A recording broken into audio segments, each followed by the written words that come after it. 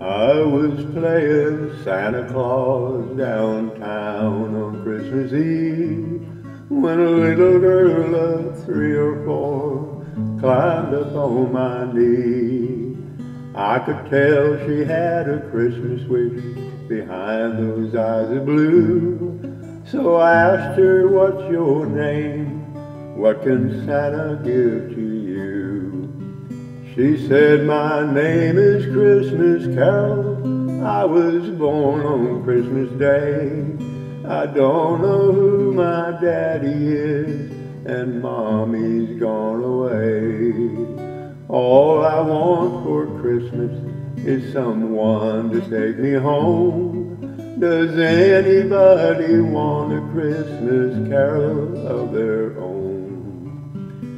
Well, that I could say was Santa would do the best he could. Then I sat her down and told her, now remember to be good. She said, I will, then walked away, turned and waved goodbye. And I'm glad she wasn't close enough to see old Santa cry. Well, early Christmas morning, I got up and dialed the phone and made a few arrangements with the county children's home. They told me it would be all right to pick her up today. Now my little Christmas carol won't ever have to say. She said, my name is Christmas Carol. I was born on Christmas Day.